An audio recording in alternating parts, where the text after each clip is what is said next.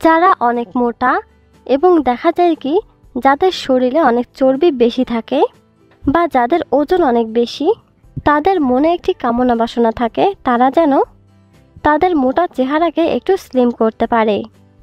তাদের ওজনটাকে যেন একটু কমাতে পারে এবং অনেক স্মার্ট হতে পারে।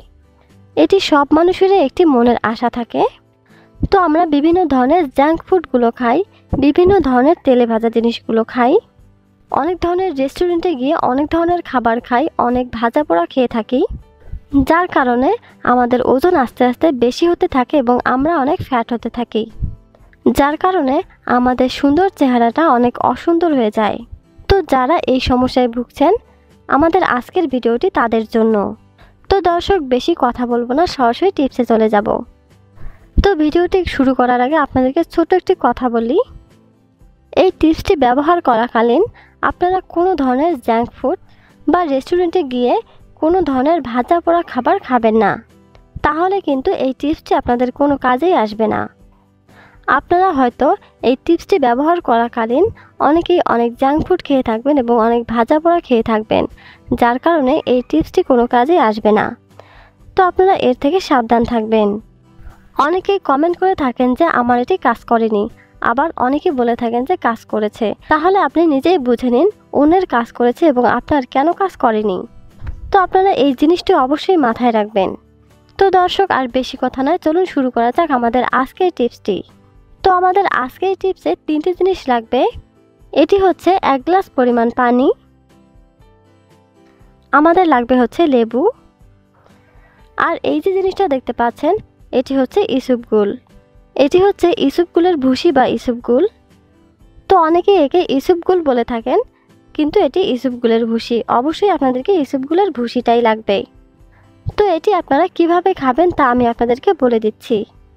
প্রথমে আপনি যে কাজটা করবেন, এই যে পানিটা আছে, এটি হালকা কুসুম গরম করে নেবেন। আপনি যখন এই পানিটা গরম করবেন, তখন সেখানে এক চিমটি পরিমাণ লবণ দিয়ে দিবেন। তো তারপর আপনারা যেটা করবেন সেটা হচ্ছে এখানে দুই চামচ পরিমাণ লেবুর রস দিয়ে দিবেন।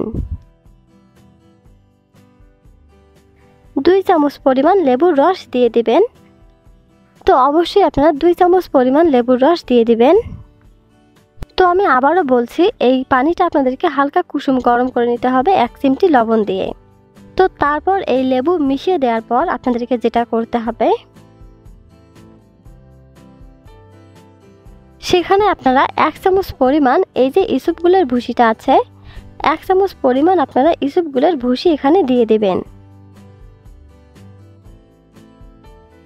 আপনারা দেখতে পাচ্ছেন, আমি এখানে এক চামচ পরিমাণ ইসুপগুলের ভুসি দিয়ে দিলাম। তারপর আপনারা এই মিশ্রণটিকে খুব ভালো করে মিক্সড করে নিয়ে নেবেন। তো আপনারা দেখতে পাচ্ছেন মিশ্রণটি তৈরি হয়ে গেল। তো এই মিশ্রণটি যখন তৈরি হয়ে যাবে, তখন এটি আপনাদেরকে খেতে হবে। তো আপনারা এই মিশ্রণটি বানিয়ে অবশ্যই বিশ থেকে পঁচিশ মিনিট রেখে দিবেন। তো এটি আপনারা কখন খাবেন? আপনারা সকলেই জানেন, আমরা যখন ঘুমোতে যাই, তখন বিভিন্ন জিনিস সবচেয়ে বেশি কাজ করে। আপনারা যখন ডাক্তারের কাছে যান, তখন ডাক্তাররা বলে থাকেন যে, এই ওষুধগুলো রাতে খাবেন। কেননা, রাতে সবচেয়ে বেশি কাজ করে। তো আপনারা এই মিশ্রণটি ঘুমোতে যাওয়ার আগে বিশ থেকে তিরিশ মিনিট আগে খেয়ে নেবেন। তো এটি দেখা যায় কি, আপনারা যদি এটি কন্টিনিউ ব্যবহার করেন, তো দেখা যাবে কি, এটি যদি আপনারা কন্টিনিউ সেবন করেন, আপনাদেরকে ভালো ফলাফল পাওয়ার জন্য অবশ্যই প্রতিদিন সাত থেকে চোদ্দ দিন পর্যন্ত প্রতিদিন আপনাদেরকে খেতে হবে। তো একটি ভালো ফলাফল পাওয়ার জন্য এই টিপসটি আপনাদেরকে টানা দুই সপ্তাহ খেতে হবে। তো আমি আবারও বলছি, এই টিপসটি ব্যবহার করাকালীন আপনারা কোনো ধরনের জ্যাঙ্ক ফুড বা ভাজা পোড়া খাবেন না। কারণ এগুলো নর্মালি আমাদের স্বাস্থ্যের জন্য ক্ষতিকর এবং এগুলো আমাদেরকে ফ্যাট করে তোলে।